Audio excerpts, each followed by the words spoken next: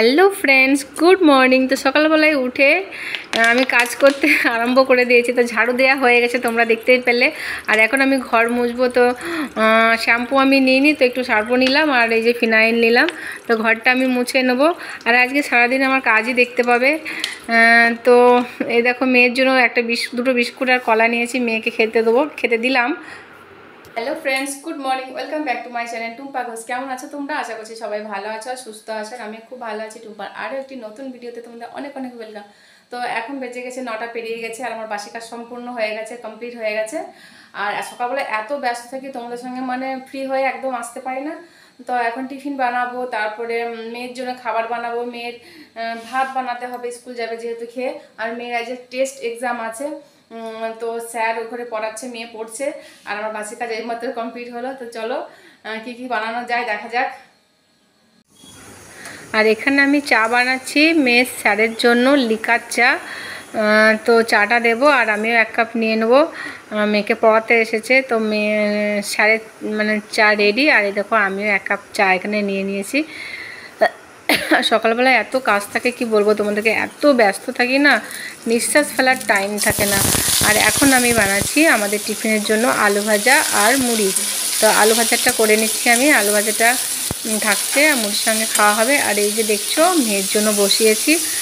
আজকে খিচুড়ি বসিয়েছি, তো মেয়ে খিচুড়িটা খাবে, আর আমরা আলু ভাজা, টিফিনে মুড়ি। আর এখন আমি চলে এসেছি মেয়েকে রেডি করতে, মেয়ে স্কুল যাবে। তো এই যে দেখতেই পাচ্ছ ড্রেসগুলো পরাবো, আর ড্রেসগুলো পরাচ্ছি, আর মোজাটা আমি লাস্টে পরাবো, খাওয়ানোর পর পরাবো। তো টাই ফাই বাঁধতে হয়, আর মোজা পরানোর সময় এত বিরক্ত করে, কি বলব তোমাদেরকে? আর এই ড্রেস পরার সময় কোমর বেল্ট পরার সময় টাই পরার সময় মানে এদিকে তাড়াহুড়ো থাকে আমার লেট হয়ে যাবে লেট হয়ে যাবে, আর এদিকে এসে ছটফট করে মানে ড্রেস পরানোর সময় সোজা হয়ে দাঁড়ায় না। তো চলো ড্রেসটা ভালো করে পরিয়ে দিই। আর মেয়েকে রেডি করে দিই।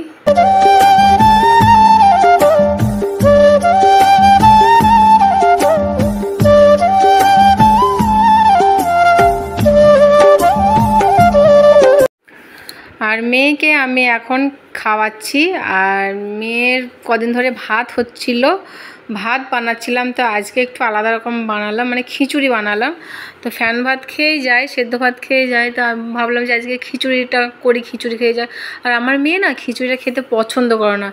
তো চলো, খিচুড়ি তো আমার খাওয়ানো হয়ে গেছে, তো রেডি করে দিয়েছি তারপর মেয়েকে। আর মেয়ে দেখো এখন স্কুল যাচ্ছে, আর তোমাদের দাদা ভাই নিয়ে যাবে স্কুলে রাখতে যাবে।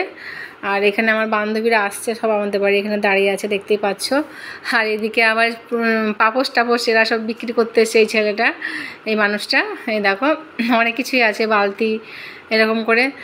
তো চলো, মেয়ে স্কুলে গেলে পরে তারপরে আমি টুকটুক করে যে কাজগুলো আছে, রান্না বান্না, স্নান পুজো, এগুলো করে নেব। তা এই মাত্র মানে কি বলব, এই এখন একটু নিঃশ্বাস পড়ল আমার। আর এত ব্যস্ত থাকি সকালবেলায় কি বলব তোমাদেরকে? এত ব্যস্ত থাকি মানে বাসি কাজ থেকে শুরু করে আর সকালবেলায় একটু দেরি হয় উঠতে যেহেতু দেরি করে ঘুমোই। তো এই দু তিন ঘণ্টার মধ্যে মানে একটু মানে নিঃশ্বাস করার সময় থাকে না, এরকম ব্যাপার হয়ে যায়। তো যাক, মেয়ে স্কুলে গেছে, এখন একটু মানে নিঃশ্বাস পড়ল স্বস্তি এলো, তারপর এবার স্নান পুজো করে টুকটুক করে রান্নাটা করে নেব। তো দেখতে থাকো আমার ভিডিওটা, তো স্নান পুজো করে নিই, তারপর রান্নার সময় তোমাদের সঙ্গে দেখা হচ্ছে হ্যাঁ? তো এখন আমি রান্না করছি, রান্নার মাছ পথে বলতে পারো। আর আর একটা মেনু আমার করা হয়ে গেছে, যেটা তোমাদের সঙ্গে শেয়ার করতে পারিনি, কারণ ফোনটা আমার কাছে ছিল না। তো ভিডিও আপলোডে বসানো ছিল অন্য জায়গায়। তো দেখাচ্ছি দাদা, এইটা হচ্ছে টকের আলু ভাজছি যে টমেটো দিয়ে।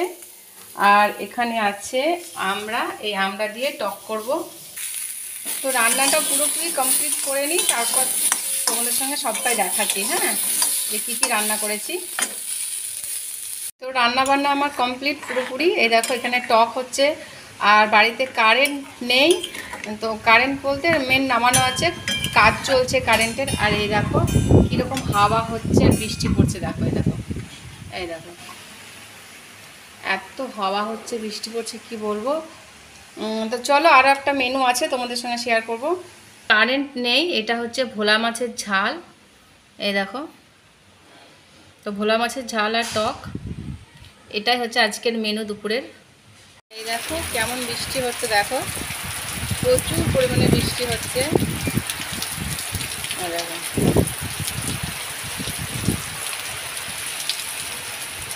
ও বলছে ও বললে তো ভালো হবে না। ও বললে তো ভালো হবে ম্যাডাম যখন বলবে ভালো পড়েছে ব্যাস তখন। টাটা করে পাপাকে। এ, চ টফি দিয়েছে গো কি বড় বড় টফি গো? ও বাবা। দেখো একবার একবার বন্ধুদেরকে দেখে দাও তোমার বন্ধুদেরকে দেখে দাও। ও দেখাবে না ওই তো। আর এই দেখো মেয়েকে ভাত খাওয়াবো আর এই দেখো চকলেট টফি খেতে লেগেছে। কালার কি সুন্দর গো সত্যি তো। খুব সুন্দর কালার দেখি তো বাবু। এই মা কি সুন্দর কালার গো। এটা অনেক দেখি। হ্যাঁ তো, খুব সুন্দর সুন্দর কালার তো। কিন্তু এই একটা খাওয়া একটা রেখে দাও, ভাত খাওয়াবো হ্যাঁ? গুড ইভিনিং ফ্রেন্ডস তো এখন সন্ধ্যা হয়ে গেছে, আর আমার সন্ধ্যা পুজো দেওয়া হয়ে গেছে। আর দোকানটা যে খুলিনি, আর রেডি হয়েছে, দেখতে পাচ্ছ তোমরা, সেজে গুজে নিয়েছি। তো একটা জায়গায় যাব, একটা জায়গায় যাব বলতে ফুচকা খেতে যাব। তো অনেকদিন যাইনি, ফুচকা এখানেও আসে। তা ওই যে কাকুটার কাছে ফুচকা খেতে যাব। দাদু না কাকুকে হয়, আমি আজকে ফার্স্ট টাইম যাচ্ছি, আমার বান্ধবী নিয়ে যাবে। তো বান্ধবী বাড়িতে আছে রেডি হচ্ছে, আমার মেয়ে রেডি হয়ে গেছে, এই দেখো, দেখাচ্ছি। তো চলো, ফুচকা খেতে অনেকদিন পর বেরোচ্ছি। ওই দেখো। নিজে নিজেই সাজছে আমার সাজা পছন্দ হচ্ছে না। বলছে, না, তুমি ভালো সাজাতে পারবে না। আমি সাজবো নিজে নিজে। তো চলো, একদম রেডি হয়ে গেছি, এই যে, এই লুকটাই এই ড্রেসটাই পরলাম, বাইরে ছিল তো, এই ড্রেসটাই পরলাম। তো চলো, ফুচকা খেয়ে আসি, তোমাদের সঙ্গে শেয়ার করব, আর তো আমার সঙ্গে সঙ্গে চলো তোমরা। তো এই যে আমরা বেরিয়ে পড়েছি বান্ধবী আমি আর আমার মেয়ে। মেয়ে হাত ধরে আছে বান্ধবীর। তো রাস্তায় বেরিয়ে পড়েছি আর একটু হাঁটতে হয় জানো তো? একটু বলতে অনেকটাই হাঁটতে হয় মোটামুটি দশ মিনিট হাঁটতে হয়। তো বান্ধবী বলে চলো না একটু হেঁটে হেঁটে যাই না। টোটোতে তো প্রতিদিনই যাই তো আজকে একটু হেঁটে চলো না। তো আমরা হেঁটে হেঁটে যাচ্ছি ফুচকার মানে তলায় বলতে পারো বন্ধুরা ফাইনালি চলে এসেছি ফুচকা খেতে। ওই যে ওই দাদুটার কাছে। তো বান্ধবী এখানেই নিয়ে আসলো বলে যে এখানে ফুচকাটা নাকি ভালো। তো চলো ফুচকা খাবে এখন। ভিড় কম আছে, ভিড় নেই, একদমই ভিড় কম। এখানে লাইটটা বেশ ভালো আছে। তাই না? ক্লিয়ার আসছে। এই যে।